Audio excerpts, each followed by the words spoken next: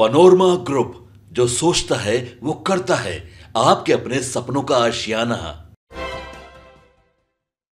नमस्कार, आप देख रहे हैं सिटी पोस्ट लाइव और मैं हूँ आपके साथ हर्षिता प्रताप सिंह। औरंगाबाद मामले को लेकर लगातार सियासत जारी है। औरंगाबाद के नबी नगर में हुई घटना को लेकर जहाँ एक और विपक्ष है जो लगातार तरह तरह के सवाल खड़े कर रहा है एनडीए सरकार पर तो वहीं एनडीए सरकार के सांसद हो या मंत्री पीड़िता के परिवार से मुलाकात करने पहुँच रहे हैं, अपनी प्रतिक्रिया दे रहे हैं। लेकिन इन सब के बीच भोजपुरी के पावर स्टार पवन सिंह की भी प्रतिक्रिया सामने आई है। पूरे मामले में पवन सिंह का गुस्सा फूटा है और इस मामले को लेकर उन्होंने अपने सोशल मीडिया पर भी पोस्ट किया है। अपने सोशल मीडिया पोस्ट पर पवन सिंह लिखते हैं, काराकाट लोकसभा क्षेत्र के नबी नगर की हमारी बिटिया के साथ जो दिल दहलाने वाली घटना हुई, उसे सुनकर मैं बहुत आहत हूँ।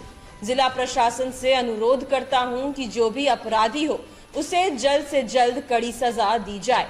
जिससे पीड़ित परिवार और हमारी बिटिया को इंसाफ मिले।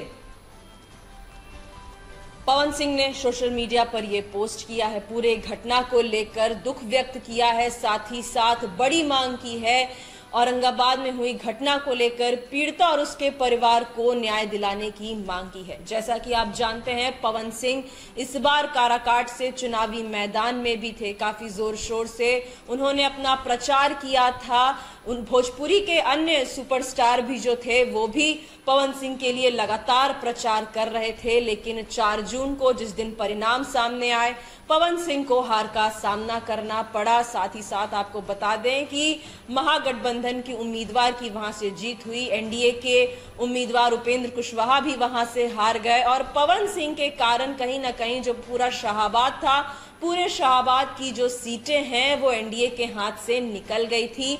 लेकिन इस पूरे मुद्दे को लेकर अब एक बार फिर से पवन सिंह सामने आए हैं। काराकाट के, काराकाट लोकसभा सीट को लेकर उन्होंने ये पोस्ट किया है। औरंगाबाद के नबी नगर का ये पूरा घटना है, जिसको लेकर सियासत जमकर हो रही है। विपक्ष एनडीए की सरकार पर सवाल खड़े कर रही है। लगातार ये पूछा जा रहा है कि ये लोग जंगल राज की बात करते थे तो क्या ये मंगल राज है? तो वहीं बिहार सरकार के मंत्री नीरज बबलू हो, उन्होंने भी कहा है कि कड़ी से कड़ी कार्रवाई की जाएगी। विपक्ष पर पलटवार भी किया है।